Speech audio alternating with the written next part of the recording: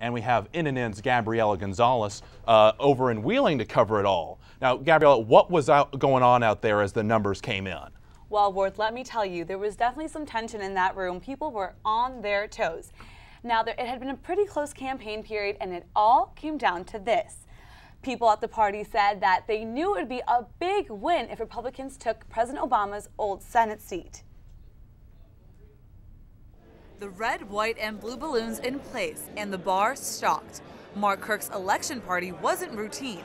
Kirk supporters say they felt the kind of energy Republicans lacked in 2008. I, I think we're going to do good, and I feel good. It's very exciting, especially after you know feeling the way I did two years ago. This is really different. I mean, this is this is the big state. This is Obama's state, and I feel like there's a spark Eyes glued to the TV screens throughout the ballroom, many watched the numbers roll in from across Illinois and around the country.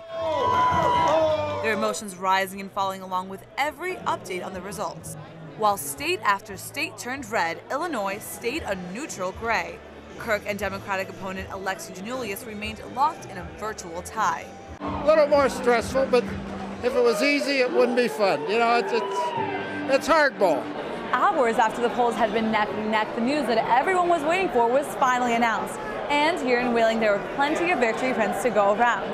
Now, Senator-elect Mark Kirk says that this election, as well as many throughout the country, sent a powerful message to Washington, D.C. that it's time for a new direction. A tsunami just hit the heartland. People of Illinois have spoken, and your vote was heard around the world. During his speech, Kirk talked about Illinois' culture of political corruption. But now he said the state finally belongs to the people once again. I feel happy we've got a Republican who thinks about people, who thinks about the long term future of America. Kirk's win also means that he will finish out the current unexpired Senate term. He says he's ready to be sworn in as soon as possible. And as for his supporters, well, they're ready for that too.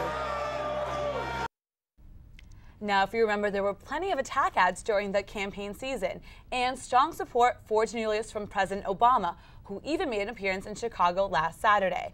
Yet the president did admit in a press conference this morning that he may be to blame for the national Republican victory. Well, it sounds like Mr. Obama might regret some of those campaign moves. Thank you, Gabby.